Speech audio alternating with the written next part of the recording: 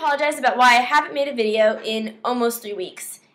Um, basically, the short answer and the only answer is that I'm in college and don't have a lot of time to spare for reading books, although I am attempting to make a set amount of time every day to read books that are not related to school. Right, that's going to happen in real life. Anyway, so I'm here to apologize for my useless ability to finish books, which is a rarity for me because I actually haven't finished reading 100 Years of Solitude yet. I actually still have 75 more pages to go. I know I have more.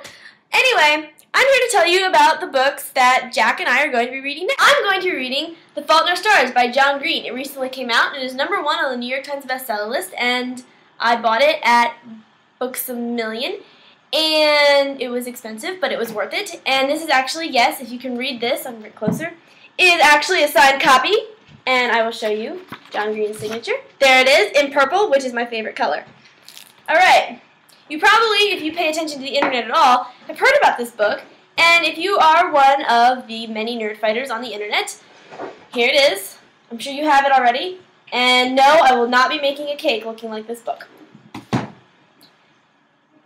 And Jack is going to be reading this one, Infidel by Ted Dekker, who is Ted also Dekker. a New York Times bestselling author, author along with John Green. So that's pretty exciting. I haven't it- it's a series. I've already read the first series. Yeah. The first book of the series. in the time it's taking me to not finish 100 Years of Solitude, Jack's finished The Bronze Bow and the first book in this series. I am failure at life. I am a failure at life. I am a failure at life. So anyway, yes, I have failed, and my punishment is She has to listen to Justin Bieber songs. I have to listen to five Justin Bieber songs all the way through. So we're going to go record that, and we'll post it in the next video. See you then. Bye.